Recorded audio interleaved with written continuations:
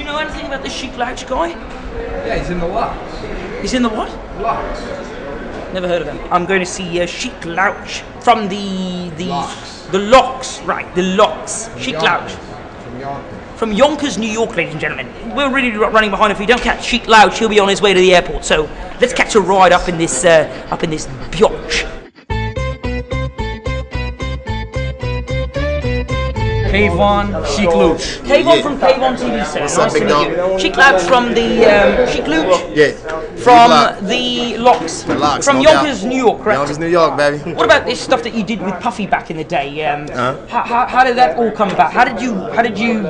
Mary, you know. Mary J. Blige actually introduced us to Puff. She had our demo tape and she brought us over there to Puff. Biggie Smalls was like, B.I.G. was like, yo, you have to sign these guys. I remember the day.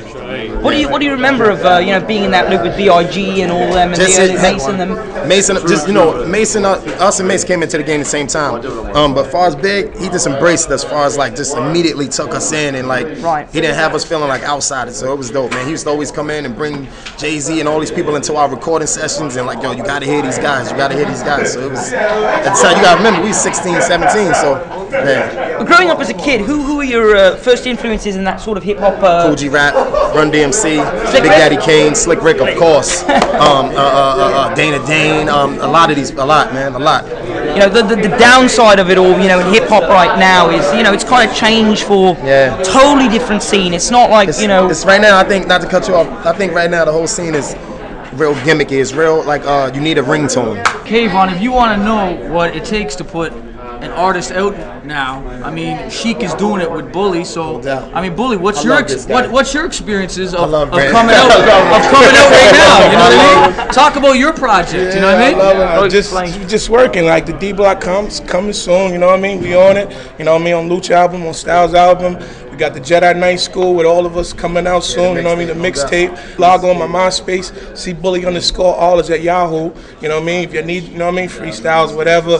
Can you Any do a we DJs, get a freestyle whatever. going? Can you do one with? Actually, we got to get moving, Kayvon, because Oh, ah, he's we actually can't got to do leave the country. You know what I mean? And they need to clear the room for the panel. We'll do, right. guys. Love- keep it up, all mate. this. Keep doing what you yes. do. Can I get a shout out to come on, K1 come on. TV real quick? You want to do it? Kayvon TV, what's up? It's your boy Sheek Louch. Your boy Big Bully. You know what I mean? You already know, Brent. You know we doing it, bro. Banks, Kayvon TV, D Block, Toronto, Yeah. stand up, what up? One, yeah. Cheers. Respect. Stretch. Thank you very much. Um, wrapping it up here at the um, Regency D, Regency A, Regency A ballroom here at the uh, Holiday Inn on King. I'm Kayvon, you're watching Kayvon TV, and from rock to pop, right into hip hop, I completely am like a chameleon here. I've just transformed. And cheers to Tin uh, for giving us the um, the sportswear to um, to, to to rock for them, to, to represent sort of thing. Big up to uh, Sheek Sheek Louch and um, and Big Bully. Oh yeah, and one more thing, folks. K Unit.